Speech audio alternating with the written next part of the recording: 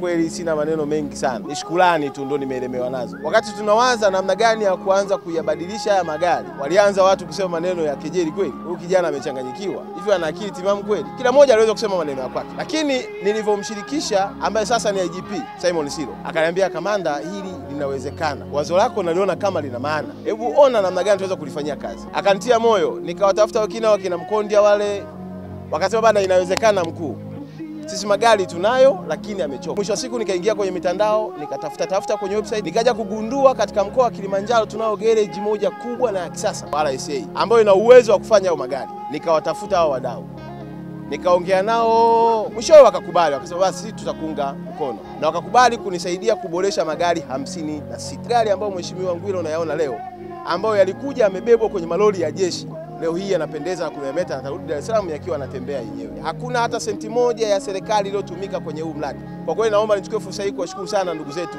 wa RSA kwa kazi kubwa nzuri na ya namna yake walioifanya katika kuboresha huduma na hasa kwenye magari yetu ya jeshi la polisi mkoa wa Dar es Salaam. Hii ndio ilikuwa ni ndoto yetu na ni ndoto ya jeshi la polisi mkoa wa Dar es Salaam kuona ya kwamba wananchi wanapata huduma inayostahili.